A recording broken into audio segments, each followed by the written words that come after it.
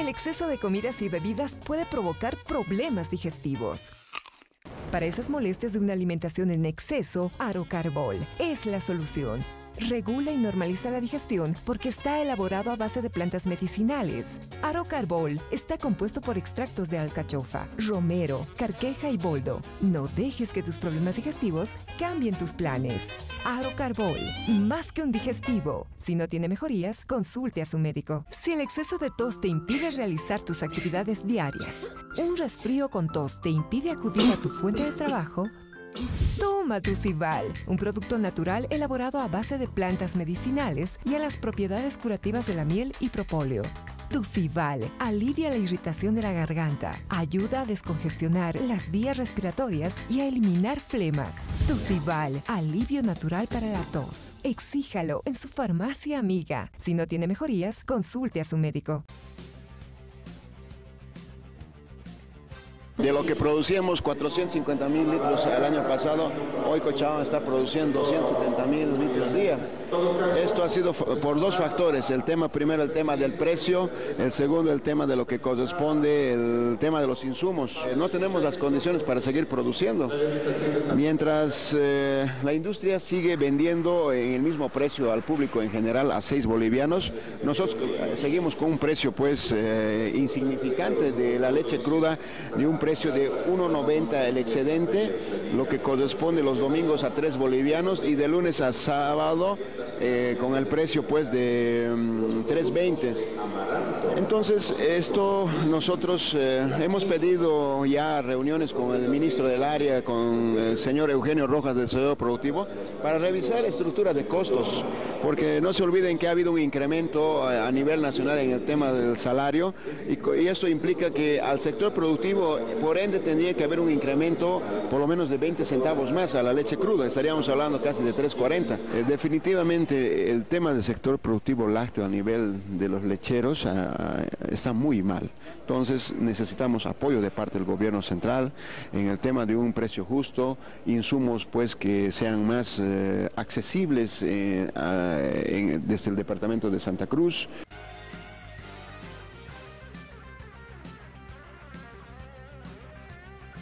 En el eje metropolitano, especialmente para Cercado Cochabamba, se viene una situación de racionamiento más dura que el 2016. Y esta situación de racionamiento no es por falta de agua, es porque las autoridades no han hecho su trabajo. El señor Gamal Serham, gerente de CEMAPA, nos ha venido mintiendo a los cochabambinos porque él decía que faltaban 300 metros para la conclusión del ducto desde Misicuni para alimentar a Cochabamba.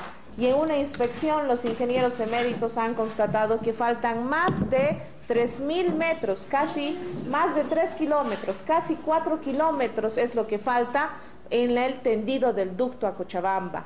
El primero de julio, la empresa ENDE va a empezar a hacer las pruebas hidráulicas para el funcionamiento de la planta hidroeléctrica. El primero de julio deja de llegar agua de Misicuni para Cochabamba. Casi 350 litros de, eh, por segundo van a dejar de llegar al municipio y esos 350 litros que van a faltar debían haber sido acumulados en la laguna de Escalerani. Es decir, a partir del primero de julio los cochabambinos otra vez van a tener que estar con sus baldes y sus eh, bañadores en las calles porque el racionamiento va a ser más duro.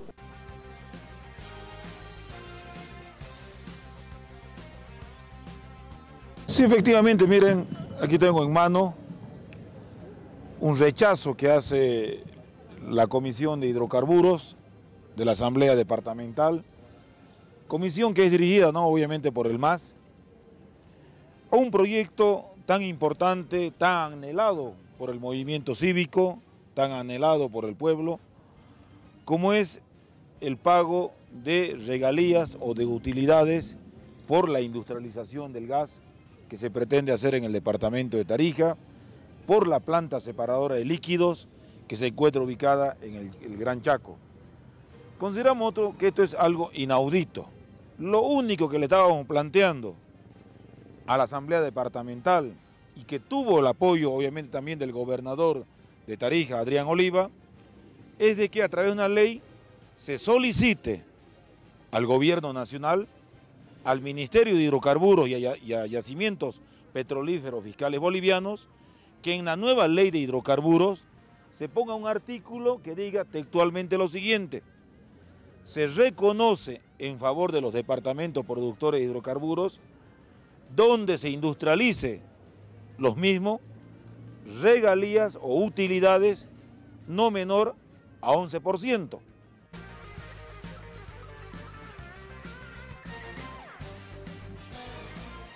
Quiero indicar que la comisición va a actuar en el marco de la mayor responsabilidad posible y por eso es que nosotros, la comisión rechaza por unanimidad. La comisión está compuesta no solo por del MAS, sino también de los pueblos indígenas. Somos tres en la comisión titulares. Solo vota la presidenta cuando hay empate y esta vez no había empate, unanimidad rechaza la ley. ¿Por qué? La ley, ¿qué dice Wilman Cardos? Dice, él dice, declarar, rebaja la tarifa de energía para la categoría tradicional doméstica. ¿Quién regula? ¿Quién regula la tarifa? Es el titular que es CETAR. CETAR contrata una empresa para que haga el estudio de la tarifa. Ahora la tarifa está hasta octubre de 2018, está esta tarifa. Recién octubre se puede modificar, ver. Pero ¿quién regula según la ley de electricidad, el artículo 53? Es CETAR, la titular. Si nos le decimos que se en tarifa, entonces quieran pues lo UDA que, que, haga la, la intervención. Porque si CETAR aparte que tienen, no tienen utilidad, tienen una pérdida de 20 millones, si les rebajan la tarifa más, CETAR irá pues a la pérdida. ¿Y por qué intervienen? Intervienen cuando hay iliquidez y cuando hay ineficiencia en el servicio. Entonces yo creo que más bien ellos están apuntando, ¿qué ha hecho la comisión? Responsablemente indica que no va, porque no es competencia y además la ley 1604 les dice claramente, el artículo 53, que quien define la tarifa es el titular, el titular que es CETAR.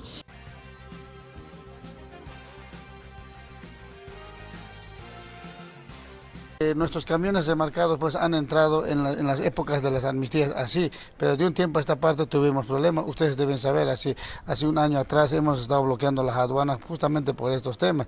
Bueno, han parado un buen tiempo, pero otra vez han vuelto a a, hacer los mismos, las mismas detenciones, cosa que hay un camión teníamos detenido ahí en, eh, Montero, eh, estaban sacando dos mil dólares ¿no? Al, compañero, entonces eso no es justo porque que nuestros camiones cuentan con documento y nos están queriendo extorsionar, eso es lo preocupante. estamos en emergencia, por eso justamente nos han convocado para la ciudad de La Paz para que podamos solucionar este problema, donde no queremos entrar a las movilizaciones, pero si, si, si se va a dar el caso tenemos que entrar, porque pareciera ser que esa es la única solución para hacernos escuchar. Entonces, no puede ser de que nosotros, teniendo en cuenta de que ellos saben que tienen que venir a, eh, verificar, tiene que venir una comisión, lo raro es que, para, que no hay una instructiva a nuestros policías y nos siguen deteniendo.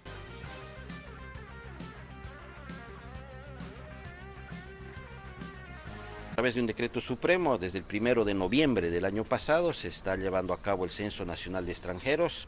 Este plazo fenece el primero de noviembre de este año y se está llevando a cabo con regularidad y aprovechar las cámaras y micrófonos para convocar a los ciudadanos extranjeros para que realicen el respectivo censo, inclusive estamos atendiendo los días sábados, única y exclusivamente de 8 y media a 12 del mediodía los días sábados, para realizar el Censo Nacional de Extranjeros. Bueno, aproximadamente ya tenemos a nivel nacional cerca de 40 mil ciudadanos extranjeros que ya se han registrado.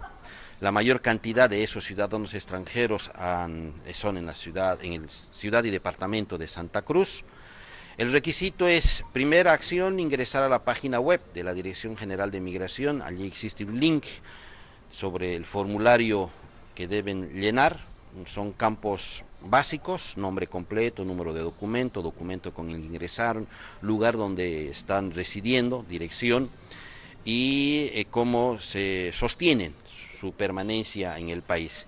Llenan ese formulario, lo imprimen y con ese formulario impreso se presentan a las, a las ventanillas de las oficinas de migración para hacer el respectivo registro de ese formulario. El exceso de comidas y bebidas puede provocar problemas digestivos. Para esas molestias de una alimentación en exceso, Arocarbol es la solución. regula y normaliza la digestión porque está elaborado a base de plantas medicinales. Arocarbol está compuesto por extractos de alcachofa, romero, carqueja y boldo. No dejes que tus problemas digestivos cambien tus planes. Arocarbol, más que un digestivo. Si no tiene mejorías, consulte a su médico. Si el exceso de tos te impide realizar tus actividades diarias, un resfrío con tos te impide acudir a tu fuente de trabajo, Toma tu Cival, un producto natural elaborado a base de plantas medicinales y a las propiedades curativas de la miel y propóleo. Tucival alivia la irritación de la garganta, ayuda a descongestionar las vías respiratorias y a eliminar flemas. Tucival, alivio natural para la tos. Exíjalo en su farmacia amiga. Si no tiene mejorías, consulte a su médico.